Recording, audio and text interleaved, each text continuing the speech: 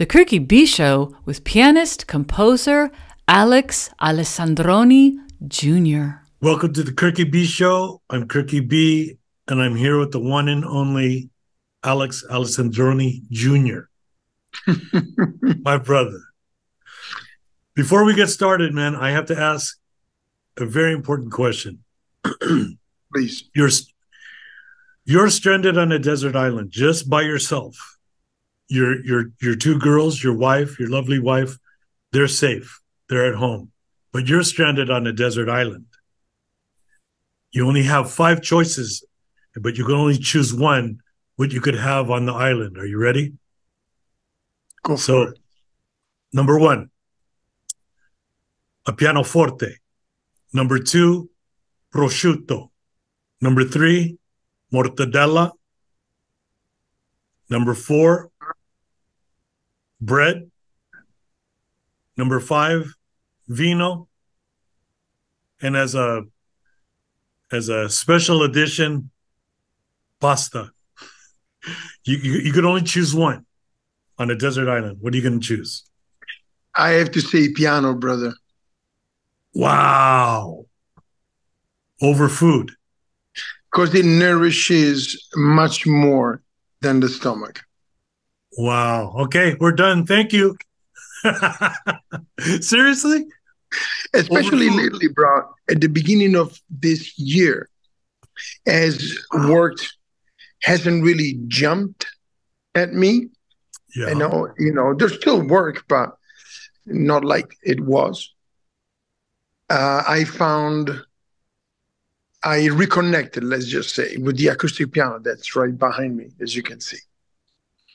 And uh, as you know, I uh, I released a record, Melodies of Life, just 14 compositions for piano alone, and I have another one ready. I am fully reconnected to this the instrument that started on my journey uh, many, wow. many, many decades ago, and um, I'm finding a deeper and deeper connection to it.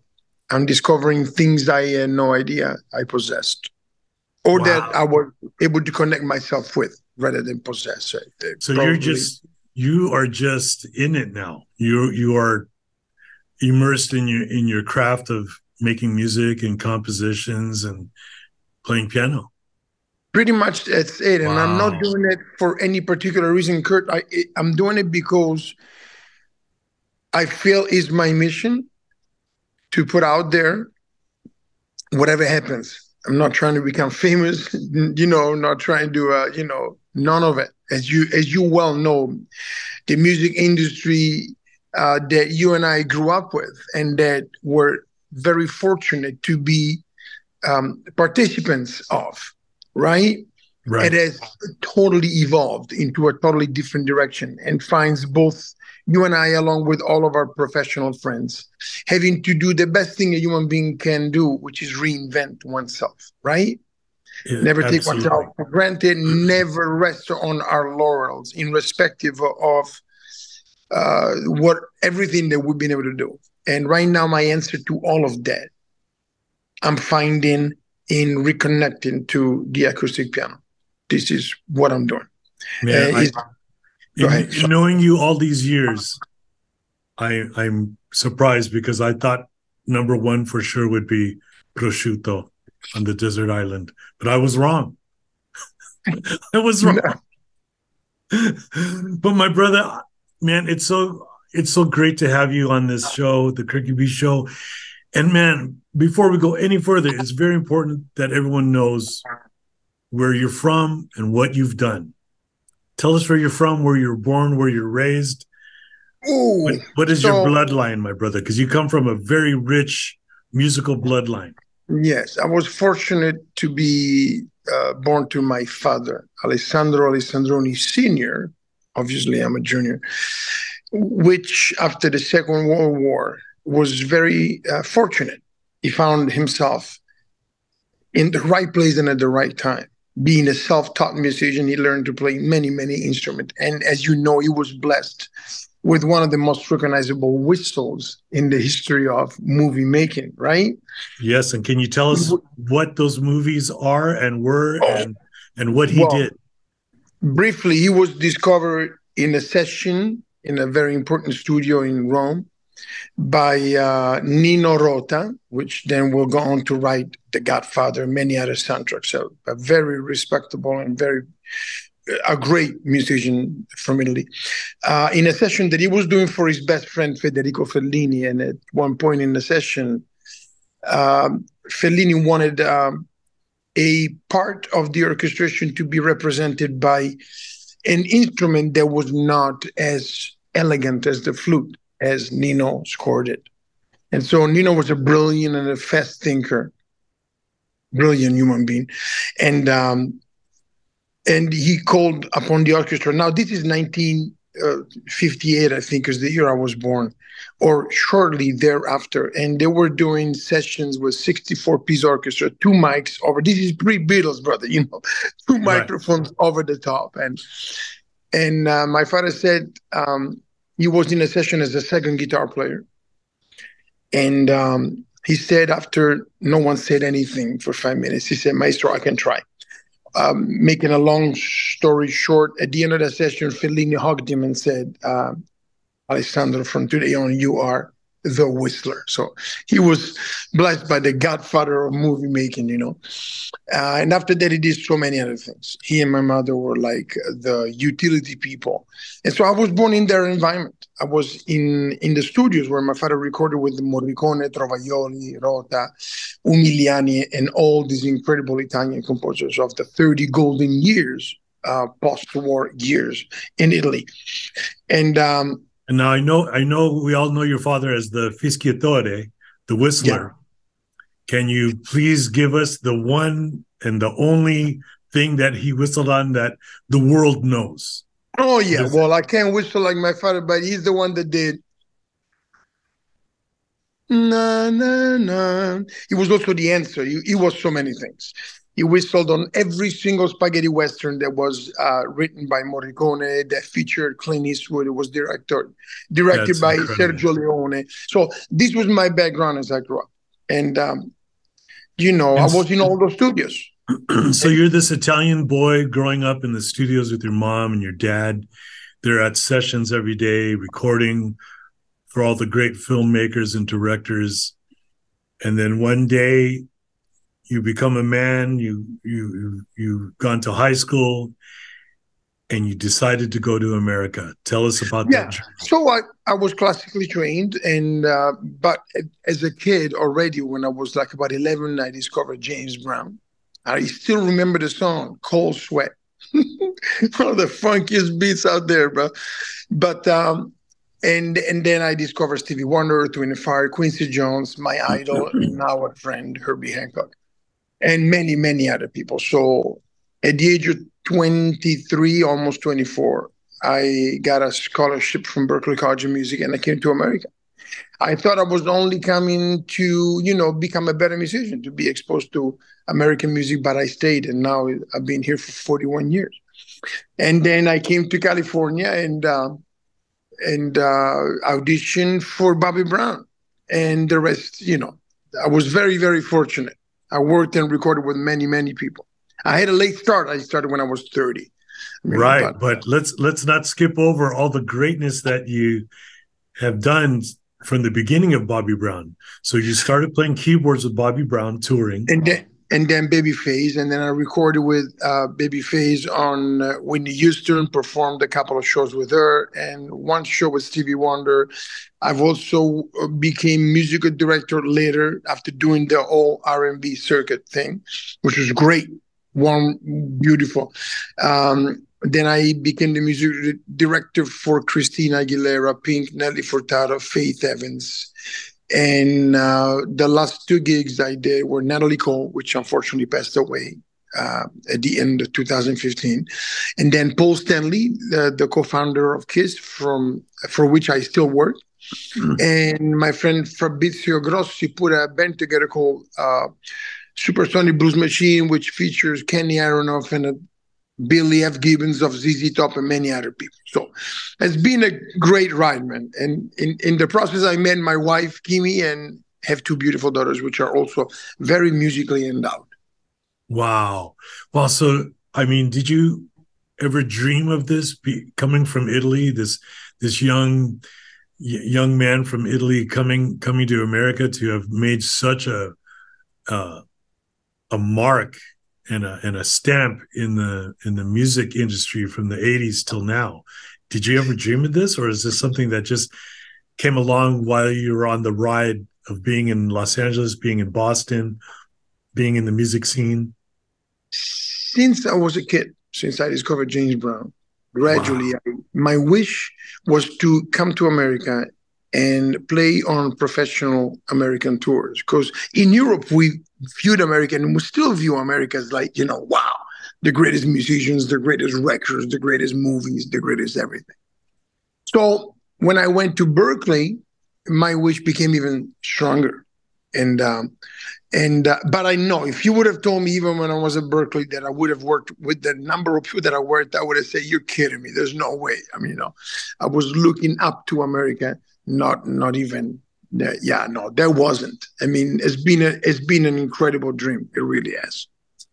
Wow, that's incredible. I mean, like, I mean, there there are so many human beings from all over the world that we all gravitate here to Los Angeles yeah. to either become an actor or an actress or a musician or yeah. a screenplay writer or you know a, a, novelist or or eh, you know anything anything in the entertainment industry.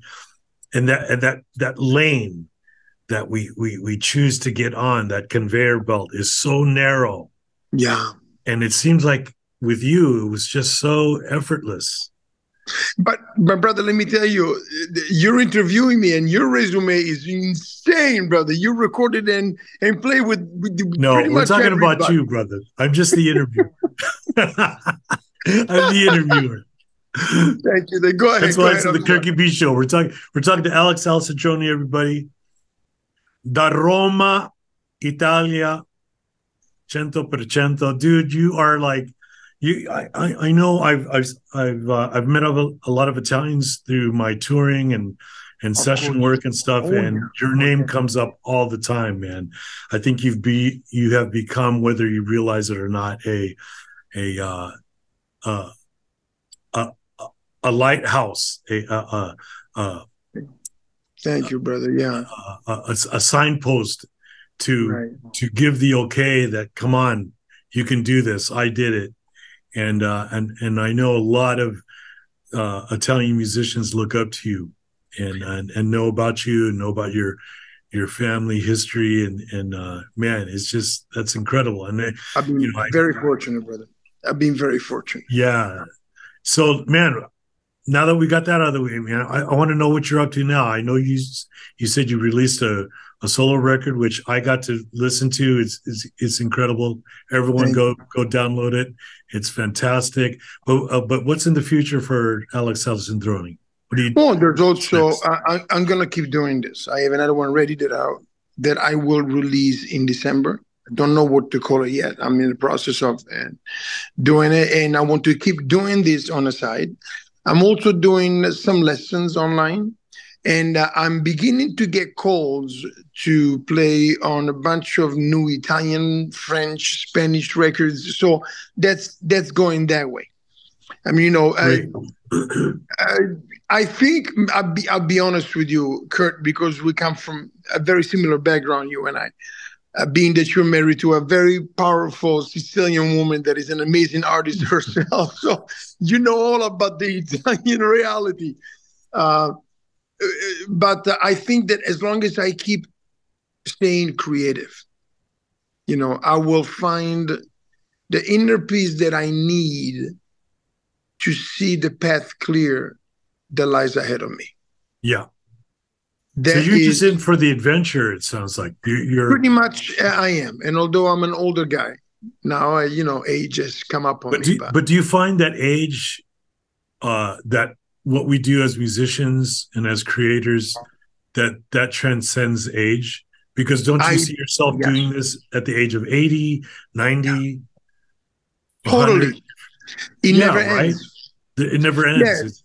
Uh, giuseppe verdi one of the most respected opera writers wrote his best work in in his 80s You know, so no age. No, that's you know, we're not talking about doing mainstream uh, pop gigs. We're talking about creating. It's a different story. It's a whole different story.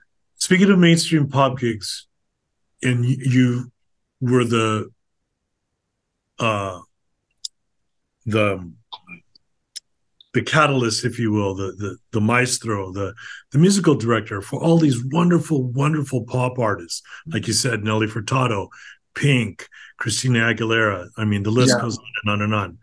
And that was a really powerful time, I feel, in in pop music. It was, and, and it's and it's since changed. Where do you see pop music going from today onward? Where do you see it going? Okay, well, there's two things I can say about that. It's very easy to criticize what you hear today between right. trap and pop music, but there's also some brilliancy out there. I'm lucky enough to have two daughters, 23 and 17, and they keep me up on some of the youth genius. There's still genius out there, Kurt. There really is. So uh, what makes it in in the mainstream, as it always has, uh, is maybe the lesser informed kind of pop, uh, you know. Right. But but things can change. Um, my brother, you know, life is a series of peaks and valleys, and we've had the dark ages of music and art in general, and and as of life in general. So, so I'm I'm I'm hoping. I'm staying hopeful. It's the same thing with you know now there's this big narrative about AI and how it's going to take over the world and Terminator five and all that kind of thing. But I know many people that are actually working with AI right now in the medical fields, and giant leaps are being made because of AI. Lives are being saved, and you know, so there's there's always two ways of looking at things, right? Because everything contains a positive and a negative aspect, and everything it's up to our perception and how we embrace this. So I'm not scared. Like I said before, I'm really doing my best to stay creative to take to turn off that voice that says you got to make this money. You cannot do it. You're too old. You know you're done. All that that voice that comes in. Um i'll put it to you in um, probably my in my top five of all time composers. Igor stravinsky the russian composer. When he was questioned later in his life he said Mr. Stravinsky, the interviewer said, Did you ever feel that you would not make it, that you would fail in your attempt to be a composer? And Stravinsky looked at the interviewer and he said, A serious work ethic does away with all kind of fears. Wow. And that yeah. doesn't that doesn't even have to be about music. You could be no. a construction worker, you could be a totally. electrician, a plumber. Totally. It applies to life. This is why he was so successful. You know what I mean? Wow. And that's one of the quotes that inspired me. Uh, just like what Rick Rubin said, uh, do a record, do your own, do it your own way. Don't worry about what anybody says. It has to be you. You can have many different styles. It has to be your style. It has to have your signature, your imprint. And that's those are the two quotes that I went by when I did this. And and now I'm like on an endless trip as long as I'm alive. I'm so for the listener, when we when we download your record records or, yeah. or recordings, I should say, when we download your recordings, we're actually hearing who you really are. You're not yeah. Pink, Pink's musical no. director or no. Nelly Furtado or or playing with Paul Stanley from Kiss. This is yeah. Alex as we know and love him as a human being first and a musician second, or musician first, human being second? Because do you feel like you're giving everything, your heart, your soul? I am giving everything into this. This is just me, hundred percent. And for those who are listening, if there's anyone listening, it's called Melodies of Life by Alex. Melodies of Life.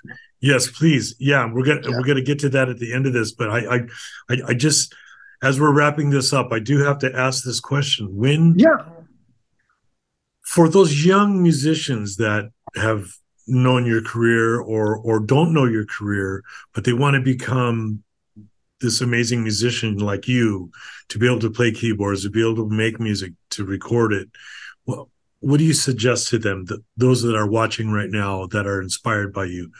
What would you like to say to them? Find you, bring you, because the only thing that matters at the end of of of everything is you, only you. Kurt, you know this, man. You are one of the most distinguishable drummers on the planet, and you've always bring Kurt to the party, and so have I. And oh. that seems to be the recipe that never fails. Well, I mean that that was my that was my whole thing of when someone calls you, they they're calling you because they want you. Bottom line. I, will never forget. I, I got called um, for a session, and they wanted Jeff Porcaro. Yeah. And I and I said, well, I was inspired by him. He's no longer with us. Yeah. And they were like, well, we really want the Jeff Porcaro thing. I was like, I, am sorry, I can't. He's he's no longer with us, but I could give you the Kirkee B it was inspired by him and That's many right. other drummers. I could give you that, and um, right. it took some convincing, but I think at the end of the session they got it. But yeah. I think what I learned, what I walked away from the studio when I got in the car and drove home, is that I realized, wow, man, you just have to be yourself. Bottom line, and nowadays, pertaining to your question, nowadays where you can go onto social media and see a number of incredible performers that really know their instrument everything. Uh, what is lacking, again, is where are you in this? Do you know what I mean? Right. I hear I hear a thousand Jaco Pastorius and Herbie Hancocks and Chick Corea and Marcus Miller and Vin Colaiuta and Stevie Gadd, but where are you? Right. Because the the masters are there to motivate us to find ourselves. Right. Right. And if we yeah. don't, then then we're not really living, we're just surviving. Correct? You know this, Kurt. Yeah, man. That's so true. Listen, man, I'm going to wrap this up. I just want to let everyone know it's such an honor to have you, Alex. And uh, and for those who want to follow, for those who want to follow you on your music sites, your your social media, how can we get a hold of you? How can we start following Instagram, the world of Alex? I'm on Instagram at AAJ Music. That's the best way to find out what I'm doing. Right on. And and where can we download your music? Um, Apple Music, uh, uh, Spotify, Amazon, a bunch of different things. Wow. So we just type in your name and Alex Alessandroni Jr. and the, stuff will come up. Va bene. Listen, Alex, thank you so much for your time, my brother. Thank you. Um, of course, we could go on and on and on. This could be a, a monthly series with you alone, but but I just like to touch upon who the who the people are, and and you're definitely one of those that must be heard. Thank you, brother. On every level. You love you and my love to Daniela, and we'll see you soon. Yes, sir. Thank you, man. All right. Bye, baby. Ciao. Ciao. Ciao.